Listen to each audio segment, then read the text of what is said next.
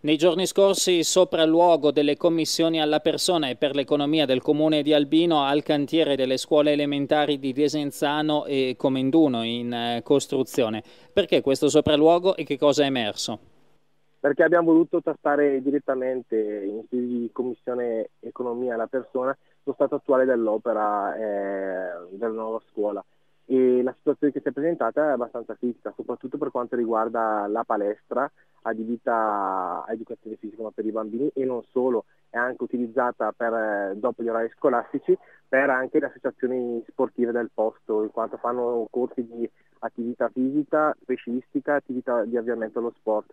La situazione della palestra è veramente critica, nel senso che come si vedono dalle foto ci sono numerose infiltrazioni di umidità e soprattutto per quanto riguarda il eh, magazzino ma anche il tetto in trave a vista la situazione è veramente critica, come detto precedentemente. Siamo, abbiamo voluto proprio verificare prima che iniziasse l'anno scolastico eh, la situazione della, delle scuole. Comunque noi stiamo lavorando, eh, in silenzio stiamo lavorando per garantire il normale, il normale avvio dell'attività scolastica che è prevista per il 15, 15 settembre.